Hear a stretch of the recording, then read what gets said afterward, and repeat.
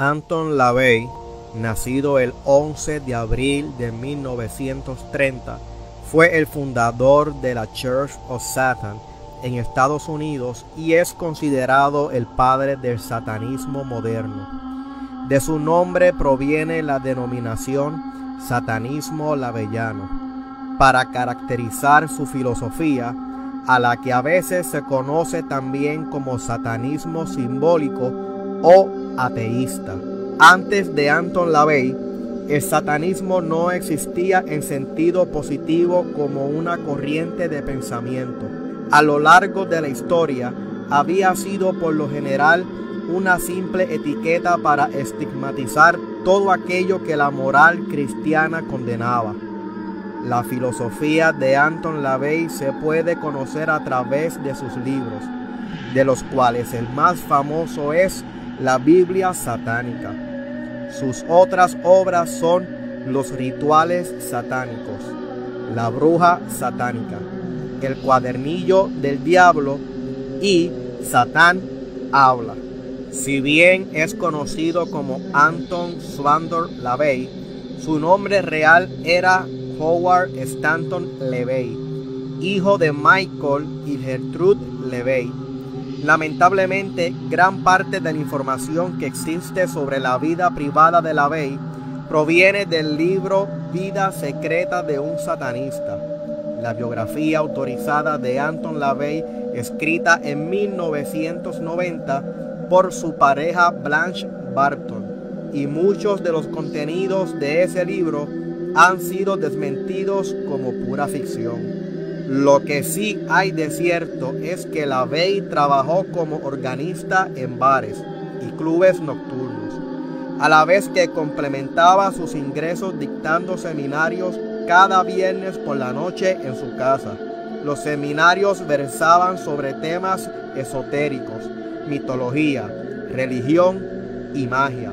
A raíz de estas reuniones, la Bey comenzó a ganar popularidad localmente por su magnetismo personal y sus extravagancias. Muchos señalan estos seminarios como la semilla que daría origen a la Church of Satan, la cual fundó en 1966 con el propósito de crear la primera institución abiertamente identificada como un discurso satánico. A raíz de la fundación de la iglesia, la Bey pronto se convirtió en una celebridad y los medios periodísticos le dieron el nombre de el Papa Negro. La Bey estaba interesado en tomar muchos de los símbolos e ideas estigmatizados por el cristianismo y revalorizarlos.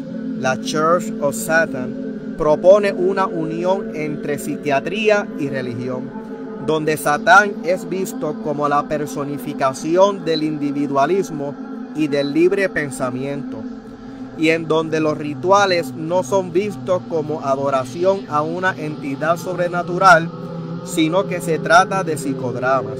La sede de la Church of Satan fue desde 1966 hasta la muerte de la Bey, la célebre Casa Negra, el hogar de la Bey y su familia en el 6114 de California, donde se realizaron seminarios y rituales. Allí es donde se realizó el primer bautismo satánico, el cual fue hecho a su hija Sina en 1967. Si bien Anton LaVey disfrutaba y fomentaba la teatralidad, es innegable que realmente se identificaba con el satanismo y su estilo de vida se condijo con la filosofía que predicaba. Su modelo de familia era la excéntrica familia Adams de la popular serie televisiva de los años 60. La Bey tuvo tres hijos, Carla Maritza con su primera esposa Carol Lansing, Sina Galatea con Diane Egarty y Satán Cerces Karnaki con su última pareja Blanche Barton. Luego de la muerte de Anton, la Church of Satan quedó en manos de Blanche Barton y Carla abandonó la iglesia para fundar su propia organización, la primera iglesia satánica, de la cual es máxima autoridad. Sina fue una importante vocero de la Church of Satan durante los años 60. Esta distanciada del resto de su familia desde los años 90. Como suele ocurrir con personajes tan controversiales, circulan muchos rumores acerca de la vida de Anton LaVey y a veces es difícil separar la realidad de la ficción. Algunas de las historias que se dicen sobre él son mitos que él mismo y familiares se ocuparon de difundir para aumentar la mística en torno a su persona. Otras fueron creadas y difundidas por sus críticos y otras simples leyendas urbanas que circulan por internet. Es difícil saber qué hay de cierto y qué hay de falso en algunos casos, ya que las diferentes versiones parten de intereses enfrentados, el de los allegados a la ley que lo defiende y el de quienes lo critican y atacan. Por eso, para conocer y juzgar a la ley, es preferible indagar menos en anécdotas y rumores y más en sus escritos y entrevistas, que dan veraz testimonio de su inteligencia y originalidad. La Bey falleció en San Francisco el 29 de octubre de 1997 y fue enterrado durante la fiesta de Halloween.